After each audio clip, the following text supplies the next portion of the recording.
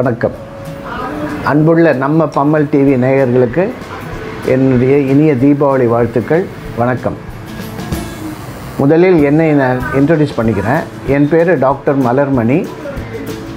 பம்மலில் நான் ப்ராக்டிஸ் பண்ணிகிட்ருக்கிறேன் நான் வந்து ஷிப்பிங் கார்ப்பரேஷன் ஆஃப் இந்தியா அதில் சீஃப் மெடிக்கல் ஆஃபீஸராக இருந்து ரிட்டையர்ட் ஆகிட்டு இப்போ தனியாக கிளினிக் வச்சுருக்கேன்.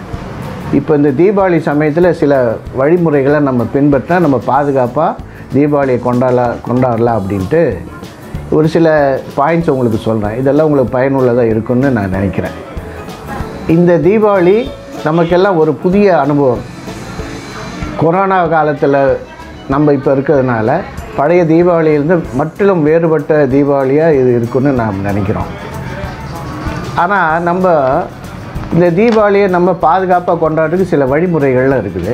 அதை நம்ம ஃபாலோ பண்ணோம்னாக்க நம்ம பாதுகாப்பாக இந்த தீபாவளி கொண்டாட முடியும். அதில் ஒரு சில பாயிண்ட்ஸை மட்டும் எனக்கு தெரிஞ்சதை நான் உங்களுக்கு டாக்டராக உங்களுக்கு சொல்கிறேன் நீங்கள் ஃபாலோ பண்ணுறது ரொம்ப நல்லது. முதல்ல நாம் வெடிக்கிற பட்டாசை வந்து ஃபஸ்ட்டு பாயிண்ட்டு ஆத்தரைஸ் கடையில் வாங்குறது ரொம்ப நல்லது. அப்புறம் அதை வாங்கிட்டு அதில் இன்ஸ்ட்ரக்ஷன்ஸ் எல்லாம் போட்டிருப்பாங்க. அதையெல்லாம் படித்து பார்க்குறது நல்லது. அப்புறம் நம்ம பட்டாசு வெடிக்கிறதுக்கு முன்னால் ஒரு பக்கெட்டில் மணல் அல்லாட்டி தண்ணீர் இதெல்லாம் வச்சுக்கிட்டு நம்ம பட்டாசு வெடிக்கிறது ரொம்ப நல்லது. சின்ன குழந்தைங்க வெடிக்கும்போது பெரியவங்க பக்கத்தில் இருந்து அவங்கள டைரக்ட் பண்ணுறது பண்ணணும். அப்புறம் பட்டாசு பக்கத்தில் மேட்ச் பாக்ஸு மெழுகுவத்தி அகல் விளக்கு இதெல்லாம் ரொம்ப கிட்ட வச்சுக்கக்கூடாது கொஞ்சம் தூரத்துலேயே வச்சுக்கணும். பட்டாசு வெடிக்கும்போது நம்ம கூடிய மட்டிலும் காட்டன் துணிகளை தான் யூஸ் பண்ணணும். நைலான் மற்றும் வேறு சில இதெல்லாம் யூஸ் பண்ணோம்னா நெருப்பு உண்டாகிறதுக்கு நிறைய சான்சஸ் இருக்குது முக்கியமானது முதல் உதவி பெட்டி ஃபஸ்ட் எய்ட் பாக்ஸ் நம்ம பட்டாசு வெடிக்கும்போது நமக்கு பக்கத்துலேயே வச்சுக்கிறது ரொம்ப ரொம்ப நல்லது. நம்ம செய்யக்கூடாதுன்னு ஒரு சிலதெல்லாம் இருக்குது. நம்ம பட்டாசு வெடிக்கும்போது சிலர் வந்து வீட்டுக்குள்ளெல்லாம் வெடிப்பாங்க. கேப்பாக இருந்தாலும் சரி அது நல்லதில்லை. அது கூடி மட்டும் அவாய்ட் பண்ணுறது நல்லது.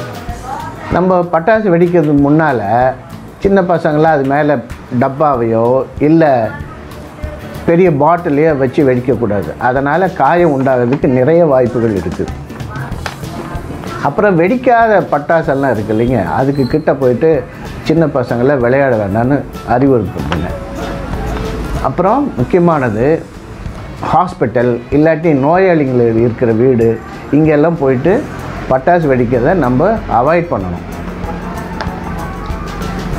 சின்ன பசங்க பட்டாசு வெடிக்கும்போது பெரியவங்க கூட இருந்து அவங்கள கைட் பண்ணணும். அப்புறம் ராக்கெட் அப்புறம் மேலே போய் வெடிக்கிற பட்டாசு இதெல்லாம் நம்ம நம்ம இருக்கிற வீட்டுக்கு முன்னாலேயோ இல்லை தெருவுங்கள்லையோ வெடிக்காமல் இருக்கிறது நல்லது. அதெல்லாம் வெடிக்கிறதுக்கு என்னென்னா பெரிய ப்ளே கிரவுண்டுக்கு போய் ஓப்பன் கிரவுண்டில் போய் வெடித்தா யாருக்கும் எந்தவித கெடுதலும் வராது. பட்டாசெல்லாம் வெடிச்சிட்டு பிறகு நம்முடைய கைகை கையையும் காலையும் நல்லா சோப்பு போட்டு நல்லா கழுவிடணும். ஏதாவது பட்டாசு வெடிக்கும்போது தீப்புண் வச்சுன்னு வந்துச்சுனாக்க உண்டாச்சுன்னா நம்ம வீட்டில் இருக்கிற சிலர் எல்லாம் யூஸ் பண்ணுவாங்க. இந்த கீ எண்ணெய் வெ வெண்ணெய் அப்புறம் ஏதாவது ஆயின்மெண்ட்டு இதெல்லாம் கூடி மட்டும் அவாய்ட் பண்ணும். போடவே கூடாது. ஏதாவது அப்படி ஏதாவது தீப்புண் உண்டாச்சுன்னா பக்கத்தில் இருக்கிற டாக்டர்கிட்ட போய் ட்ரீட்மெண்ட் எடுக்கிறது நல்லது. அப்புறம் இந்த அகல் விளக்கு மெழுகுத்திரி இதெல்லாம் கர்டன் இல்லாட்டி எலக்ட்ரிக்கல் ஒயர் அதுக்கிட்டெல்லாம் வைக்க வேண்டாம். சின்ன குழந்தைங்க விளக்குக்கிட்ட போகிறத அவாய்ட் பண்ணணும். அதுக்கு பெரியவங்க தான் அதெல்லாம் பார்த்துக்கணும். இந்த முறைகளை நம்ம ஜாக்கிரதையாக பின்பற்றினாக்க பாதுகாப்பாக நம்ம தீபாவளியை கொண்டாட முடியும். நாம் எப்போதும் வெளியே செல்லும்போது முகக்கவசம் அணிந்து சோஷியல் டிஸ்டன்ஸ் கடைபிடித்து கொரோனாவை எதிர்ப்போம். வாய்ப்பளித்த நம்ம பம்மல் டிவிக்கு எனது வாழ்த்துக்களையும் நன்றியும் தெரிவித்துக் கொள்கிறேன். வணக்கம்.